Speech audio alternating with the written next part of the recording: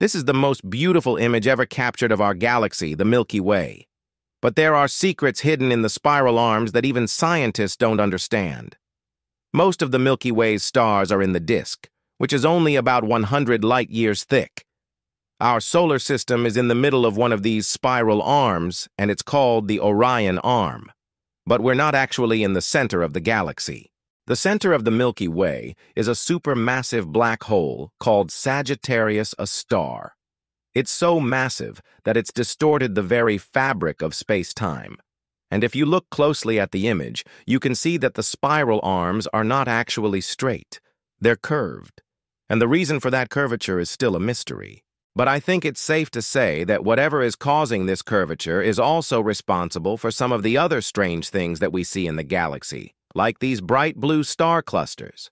We don't know exactly what's going on here, but it's safe to say that there are things in the universe that we don't yet understand.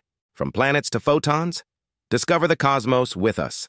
Subscribe to Our Galaxy 83